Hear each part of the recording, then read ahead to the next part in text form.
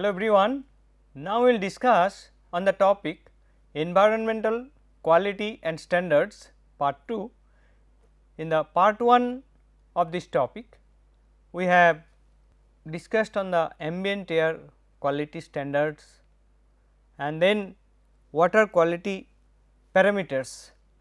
Now, we will continue this and we will cover water quality standards, industrial effluents and emissions and standards, noise pollution standards and vehicular pollution and standards in this class. So, we have seen that TDS, TSS etcetera are some important parameters of water. Now, we will see on the basis of application how the water can be classified and how the different quality parameter values are necessary for these applications. For example, we can classify the water into category A, B, C, D and E even less than E also. So, A category that is drinking water source without conventional treatment, but with chlorination. So, this water does not require any conventional treatment except the chlorination. So, that is A, A class we can get it and in this case primary water quality criteria is total coliform organisms that is most probable number MPN per 100 ml shall be 50 or less, pH 6.5 and 8.5 in between this and dissolved oxygen 6 mg per liter or more and biochemical oxygen demand 2 mg per liter or less. So, this is category A. Similarly, category B that is for outdoor bathing, then it has total coliform 500 or less, pH 6.5 and 8.5 the same and then dissolved oxygen 5 mg per liter. So, it is less lesser than that and BOD is also more than the category 1 or category A. Similarly, for C category drinking water source with conventional treatment. So, here total coliform is 5000 or less, pH between 6 and 9 and dissolved oxygen 4 mg per liter and BOD 3 mg per liter or less. And then category D that is propagation of wildlife and fisheries that can be used for this application. So, pH 6.5 to 8.5 and dissolved oxygen 4 mg per liter or more and then free ammonia 1.2 mg per liter or less. Similarly, for E type which is used for irrigation, industrial cooling and controlled disposal is necessary for this. So, here pH is in between 6 and 8.5 uh, and then sodium adsorption ratio less than 26 and boron less than 2 mg per liter. So, these are important parameter of the E type of water. Now, one interesting point we have come to know that is sodium adsorption ratio. Now, let us see what this is. So, sodium adsorption ratio or SAR we can mention here. So, this can be calculated by the formula concentration of Na plus ion divided by root of calcium 2 plus and magnesium 2 plus ion divided by 2 that means the average concentration of these two if we take the root and if we divide Na plus concentration by these values then we will get the SAR or sodium adsorption ratio. So, to make the water suitable for agricultural application this SAR value should be below certain limit and that is SAR less than 3 the water is suitable for irrigation use, but if it is 3 to 9 present some use restrictions, but SAR values in excess of 9 normally mean that water cannot be used for irrigation.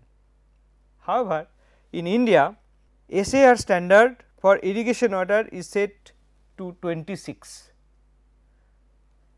How it is possible? Because this reflects the fact that sodium does not build up in the soil and cause damage because every monsoon season the soil is thoroughly flushed and renewed. So, if sodium is present in the water, so that will be giving some negative impact to the soil, its electrical conductivity will be reduced, its hydraulic conductivity will be reduced, surface crusting can happen and infiltration property will be reduced, water penetrations will be reduced. So, SAR sodium adsorption ratio is very very important parameter of water for its agricultural application and this term that is sodium percentage is calculated and it is defined as concentration of sodium into 100 divided by sum of the concentration of sodium, potassium, calcium and magnesium and this is expressed in milli equivalent per liter and this value sodium percentage value should not be more than 60. Okay. Now, in waters where the bicarbonate content is higher then bicarbonate reacts with calcium, magnesium etcetera and precipitate out as carbonates. As a result what happens in this formula if calcium magnesium are removed then this sodium percentage will increase. Okay. The residual sodium carbonate, how much sodium carbonate residual is there another parameter is also defined accordingly. So, that is equal to RSC that is equal to CO3 minus plus HCO3 minus minus Ca plus 2 plus Mg plus 2 that means equivalent amount of calcium and magnesium will consume equivalent amount of these two remaining will be available and that is called residual sodium carbonate. Okay. So, by that way also you can say how much sodium is present in the water and different parameters we are getting one is your sodium adsorption ratio, one is percentage of sodium, another is your RSC or residual sodium carbonate. So, if its value exceeds that is RSC value exceeds 2.5 milliequivalent per liter the water is not suitable and 2.5 to 1.25 is marginal and less than 1.25 is safe. Now, we will see drinking water quality standards. So, there are number of parameters which are considered for defining the quality of drinking water. Like say color, odor, turbidity, dissolved solids, pH, alkalinity, that is total alkalinity, total hardness. And these are the values. So, color should be colorless, odor should not be objectionable, unobjectionable, turbidity 5 NTU and dissolved solids 500 and then pH 6.5 to 8.5 and total alkalinity 200 mg per liter and total hardness 300 mg per liter. And then chlorides, fluoride, sulphate, nitrate and the values are chloride is 250 mg per liter, fluoride 1.5 mg per liter and 200 mg per liter for sulphate and nitrate as nitrate or as nitrogen. So, 45 as nitrate and 10 mg per liter as nitrogen. So, these are the different quality parameters of drinking water. Now, for treated effluents means any wastewater after treatment when it will come into the surface water then what will be the quality parameters that is provided in this table that is ammoniacal nitrogen, ammonia, arsenic, BOD5, boron, cadmium, chloride, chromium total, COD and then chromium hexavalent. So, all in mg per liter unit and these are the values like say ammoniacal nitrogen 50. Here we are saying that three different options for its disposal after treatment maybe inland surface water or maybe public sewer or maybe irrigated land. So, public sewer means the after initial treatment the water is going to the public sewer. So, that will be further treated. So, that is why its value are quite higher slightly higher than the uh, inland surface water disposal. Inland surface water means directly it is going to the river. So, here when it is going to public sewer that means it will be getting another opportunity to be treated. So, that is these values are relatively higher than this you see here and irrigated land also the quality requirement is different with respect to inlet surface water. Okay. So, these are the different parameter values like say arsenic 0.2 here and this is for 0.5 this is 0.2 again mg per liter BOD 30, 250, 100 and boron 2, 2 and 2 mg per liter, cadmium 0.5, 0.5 and 0.5 mg per liter, chloride 600 in all the cases and chromium 0.5 and then 1 and 1 and then COD here 250 and public sewer 400 again it is 400 for irrigated land and chromium hexavalent chromium 0.11 and 1. Similarly, for copper DO dissolved oxygen, electrical conductivity, total dissolved solids, fluoride, sulphide, iron, total Kjeldahl nitrogen, lead, manganese and mercury. The values are also provided here you see copper 0.5, 3 and 3. So, when it is dissolved oxygen 4.5 to 8, 4.5 to 8, 4.5 to 8. So, that is constant the same for all the cases. And electrical conductivity is also same for all the cases. And dissolved solids is also same for all the cases. And then fluoride it is 7 it is 15 it is 10 and then sulphide 1 2 and 2 mg per liter iron 2 2 and 2 and then Kjeldahl nitrogen 100 100 100 and lead 0 0.1 0 0.1 0 0.1 and manganese 5 5 5 ppm and mercury also 0 0.01 0 0.01 and 0 0.01 mg per liter. Similarly, nickel, nitrate, oil and grease, phenolic compounds, dissolved phosphorus, total suspended solid, cyanide, pH, selenium, zinc all parameters are measured and as mentioned here in this table we will go through. Now, we are going to discuss about the quality parameters and their values for industrial effluents emission. So, which emissions are come from industry basically effluent here we are talking about effluent. So, what effluent is coming from the industry after treatment in the industrial premise it is getting entry into uh, similar way it may be discharged to the river through canal or it may be discharged to the public sewer for further treatment and it may be land for irrigation or it may be possible that this is available in the marine or coastal area. So, directly can go to sea. So, that way different options are available for industrial effluents and emissions particularly the effluents. Okay. So, here the parameters are like say color and odor. So, all efforts should be made to remove color and unpleasant odor as far as practicable. So, this is CPCB standard uh, we should utmost we should take utmost care to remove all objectionable odor and the color should also be acceptable. And suspended solid that is equal to 100 for inland surface water and 600 mg per liter for public sewers and 200 for land for irrigation and particle size of suspended solids shall pass 850 micron sieve and pH 5.5 to 9 for all the cases and temperature shall not exceed 5 degree above the receiving water temperature. So, that we should not allow the discharge in such a way that the receiving body temperature increases more than 5 degree centigrade. I have solved one numerical problems in the previous class as well. Oil and grease that is 10 mg per liter, 20 mg per liter, 10 mg and 20 mg per liter respectively. So, this is mg per liter not magne magnesium it is mg per liter.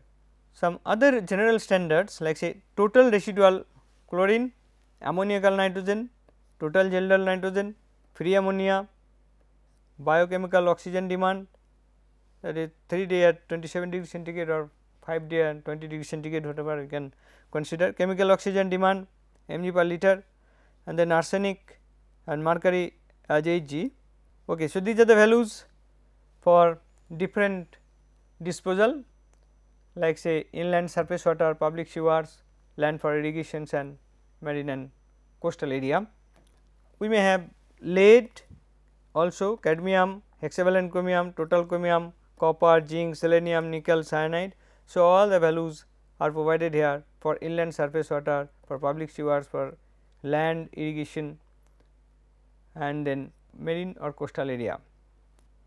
Now, again we can have others also that is fluoride, dissolved phosphates, sulphide, phenolic compounds, radioactive materials like alpha beta emitters materials may be present in it and bioassay test. So, these are also necessary for uh, industrial effluents from case to case basis. Some in some facilities the nature of the waste water is like this. So, we need to ascertain that these quality are also being satisfied. So, fluoride here 2 and it is 15 and 15 and then dissolved phosphate is 5, sulphide 2 and 5, phenolic compounds 1, 5 and 5 here. So, these radioactive materials 10 to the power minus 7 and 10 to the minus 6 mg per liter. So, this is the permissible limit and bioassay test 90 percent survival of fish after 96 hours in 100 percent effluent. So, this is you know one indication that my water is of good quality, my fish is surviving means the water quality is good. So, automatically it gives indications that there is no problem with the water. So, that is the concept the 90 percent survival of fish after 96 hours in 100 percent effluent. The same is applicable for all type of discharge locations. Now, we will see some other parameters also that is manganese, iron, vanadium nitrate, nitrogen. So, here these values are for manganese 2, here 2 and 2 and then iron also 3, 3 and 3 and vanadium 0 0.2, 0 0.2, 0 0.2 mg per liter and nitrate 10 and 20 in case of marine 20 and in case of. So, these are the general standards and these standards shall be applicable for industries operations or processes other than those industries operations or processes for which standards have been specified in schedule of the environmental protection rule 1989.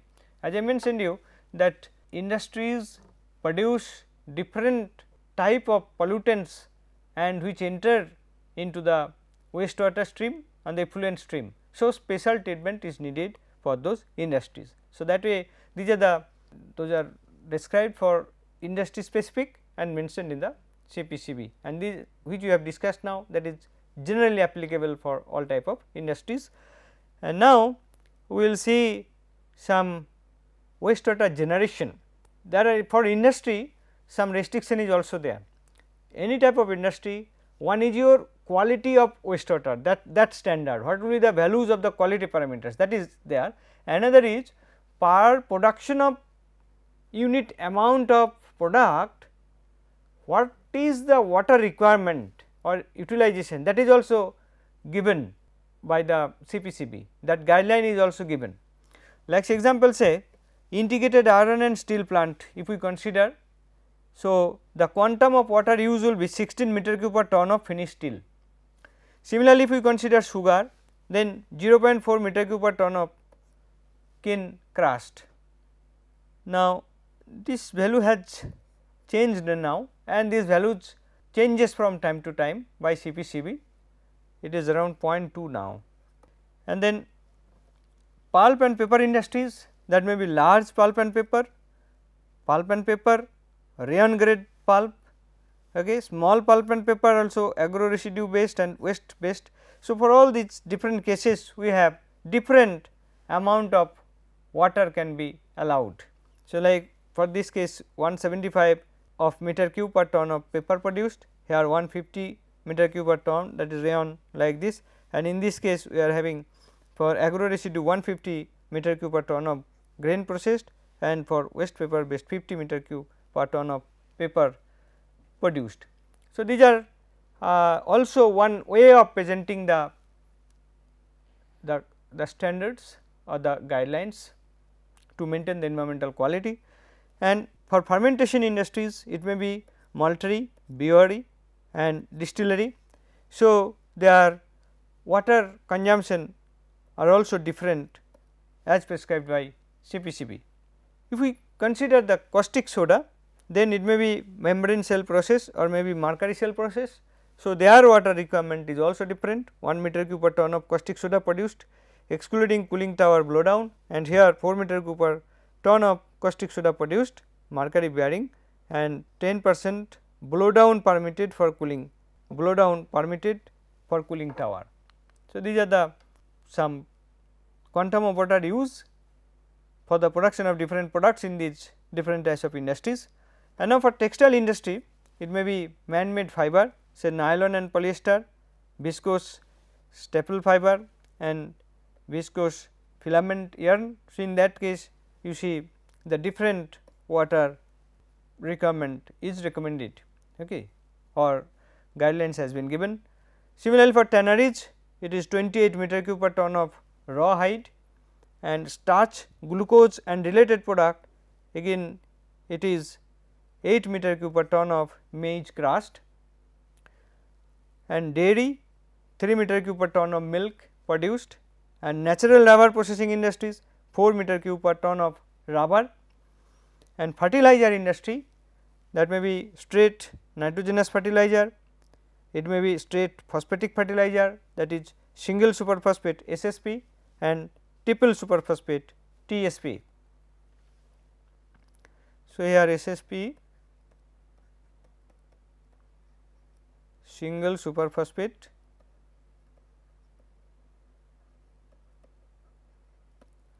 And TSP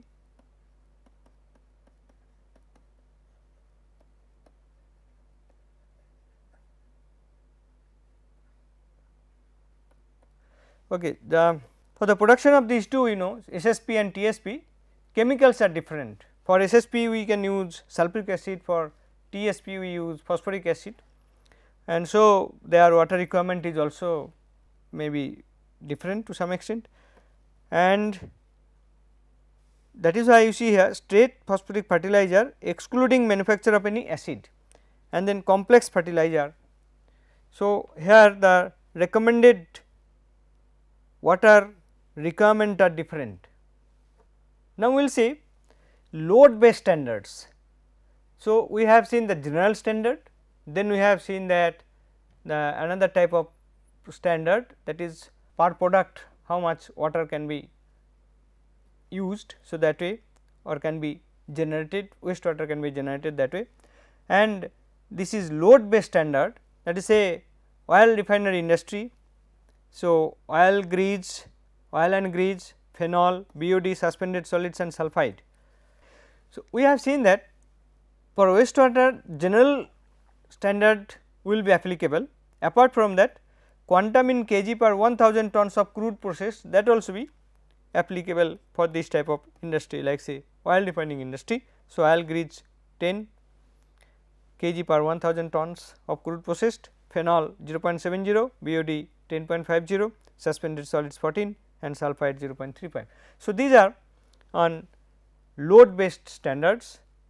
Similarly, large pulp and paper, new print, rayon grade plants of capacity above 24,000 ton per annum in that case you know total organic chloride TOCL TOCL that is 2 kg per ton of products. So, these are also some load based standards given for different types of industries.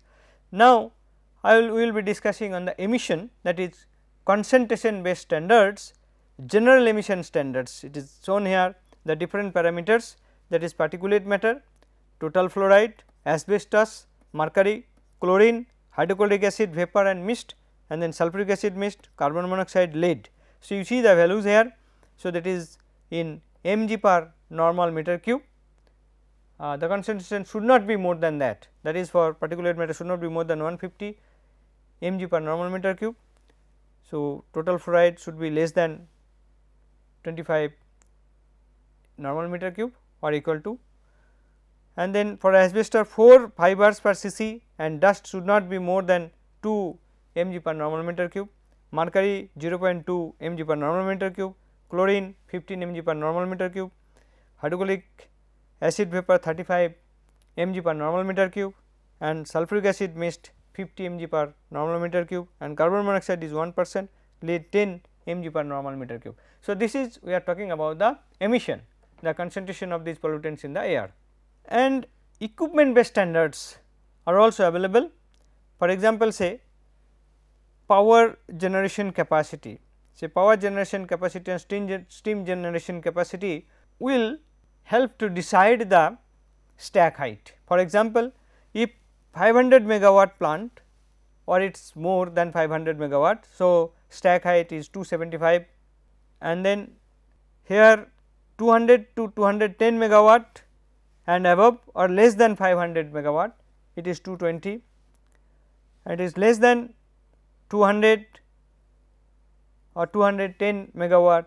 So, that can be determined by H equal to Q to the power 0.3 where Q is emission rate of SO2 in kg per hour. Okay. So, similarly, steam generation this is power generation capacity similarly for steam generation capacity less than 2 ton per hour less than 2 to 5 ton per hour okay 5 to 10 ton per hour 10 to 15 ton per hour 15 to 10 ton per hour 20 to 25 ton per hour and 25 to 30 ton per hour more than 30 ton per hour. So, here the heights are also given that is 0 9. So, 12, 15, 18, 21, 24, 27 and 30 or as per formula this formula we can use whichever is more that we have to use. When h, h is the physical height of the stack in meter and these are all in meter and q is the emission rate of sulphur in kg per hour. Then load or mass based standards are also available. So, that is fertilizer urea plant which is commissioned prior to 1st January 1982 and somewhere which is commissioned after this time period. So, particulate matter, particulate matter are parameter for consideration and in this case 2 kg per ton of product or here 0.5 kg per ton of product. Similarly, for copper, lead, zinc smelter, sulfur dioxide is our parameter and 4 kg per ton of concentrated acid produced. Similarly, for nitric acid oxides of nitrogen is a quality parameter and 3 kg per ton of weak acid produced and sulfuric acid sulfur dioxide and here standard 2 kg per ton of concentrated acid produced and coke oven that is carbon monoxide and 3 kg per ton of coke produced. So, these are the standards. Now, we will see the noise standards. So, the noise pollution regulation and control rules 2000 the, as per this rule say industrial area, commercial area, residential area and silence zone has been identified say area code A, B, C, D and for this daytime and night time noise level is defined. For A daytime 75, night time 70, for B that is commercial area it is 65 and 55 and residential area 55 and 45 and the silence zone 50 and 40.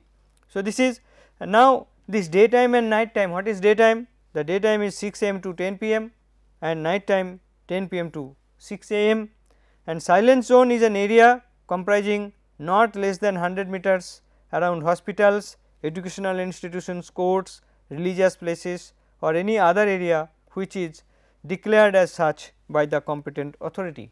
So, this is the standard of noise pollution and now we will see the auto fuel quality standard. So, if we see the diesel specification and gasoline gasoline specification. So, in 1996 we had one specification 2000 it was modified 2005 it is modified 2010 it is modified. So, what we see here the qualities are uh, parameters quality parameters are becoming more stringent.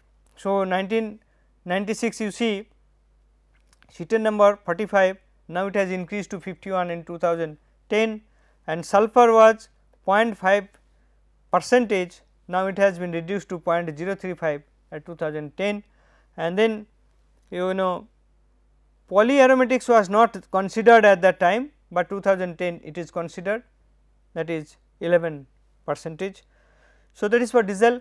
And similarly for gasoline also you see benzene it was 5 in 1996 it has reduced to 1 in 2010 lead it was 0.15 it has been 0.005 in 2010 sulfur 0.1 now it is reduced to 0.015 okay so aromatics and oxygen were not there so these were introduced in 2005 with higher value and 2010 these values are also changed.